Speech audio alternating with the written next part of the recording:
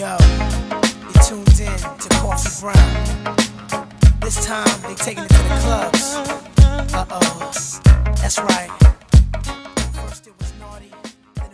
What's up, y'all? This is Roller Suppity Barber doing Kicks and Fits with Kicks USA at the Classics Hub. Today we're gonna be reviewing the 11s UNCs. I remember when like Jordan had these. I believe he had the Concords on when he dunked on Olajuwon. Like once he dunked on Olajuwon with these, I needed these. Like so I go in the court and feel like I might needed these.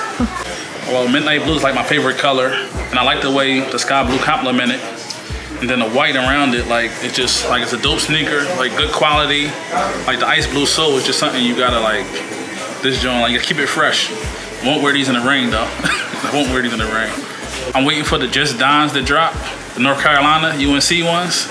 So I will rock those with a fresh white tee, hopefully on a beach or in LA somewhere with palm trees. Like, cause it's like, it's, it's a cool sneak and you gotta be shown.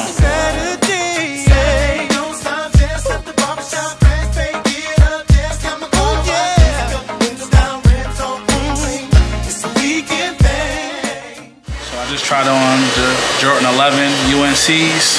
They feel great, feel perfect to cut in. Uh, I used to wear 11, and I'm getting a little older, so I moved up to 11 and a half. They feel perfect. I can cut in these all day, and look good when I'm doing it. I usually cut from like nine to seven, and it's nice to wear Jordans because you're stylish as you're doing it. Give your client something to look at other than the haircut. Overall, I rate these like I, they only got a number to rate them at, but it's way past 10. Jordan UNC's drop 11-11 at Kicks USA. Make sure you get you a pair because I said so.